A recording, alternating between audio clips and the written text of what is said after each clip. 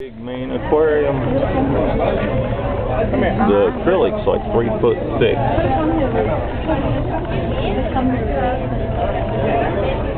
He just wants to swim around upside down.